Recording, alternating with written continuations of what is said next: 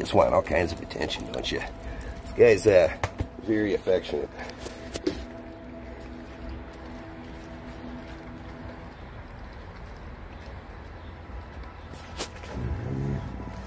That's Ookla telling him no with a little grumble there. Again, that's how dogs communicate.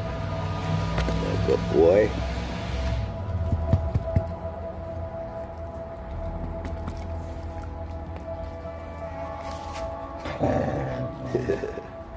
Ookla says, that's mine.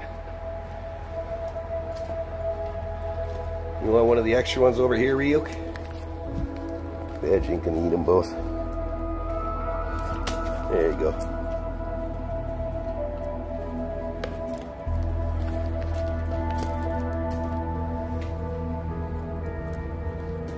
Badge is still blowing her coat. I brush her every day and more and more comes off.